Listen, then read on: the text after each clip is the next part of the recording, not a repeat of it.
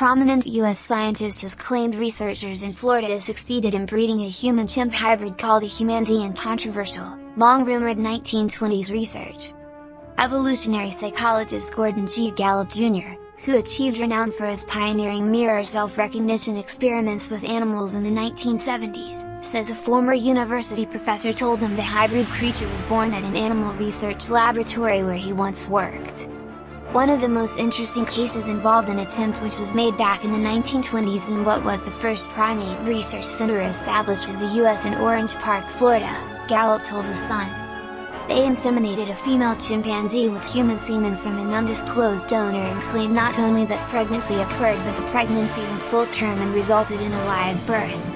There is little reason to think such an experiment successfully took place, and plenty of reasons to believe it did but having an otherwise respected researcher make such a statement is drawing attention to this old rumor once again. Despite the significance of this purported breakthrough, Gallup, now a researcher at the University of Albany, says he takes of conscience over the humanzee experiment didn't take long to catch up with the scientists involved.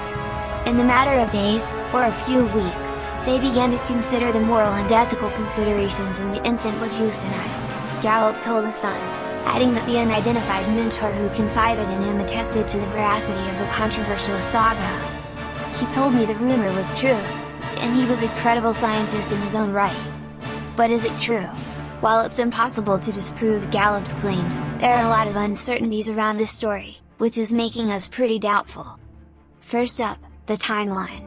The institution Gallup says carried out the experiment is these days called the Yerkes National Primate Research Center, but it was established in 1930, not in the 1920s. Its founder, psychologist and primatologist Robert Yerkes, was a divisive figure in the scientific community, given his stated support for eugenics research, but he was also fascinated by animal behavior, especially that of primates.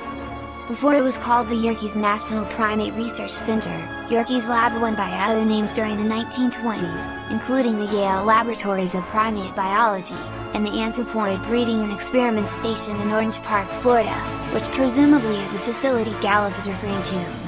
While Gallup doesn't identify which university professor told them about the humanzee, it's not the first time this mystery confidant has been mentioned.